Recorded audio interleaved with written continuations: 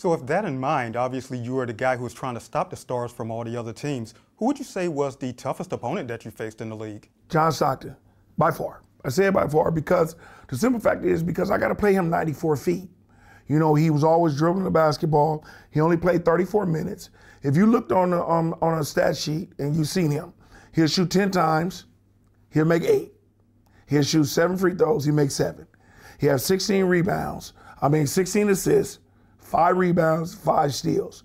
I look up 26, 15, 5 and 5. How can you beat that? And I played 44 minutes. He played 34 minutes. They beating us by 20, and then what happens?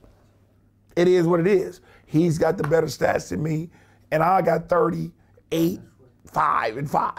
That doesn't match because he won that, he won that match.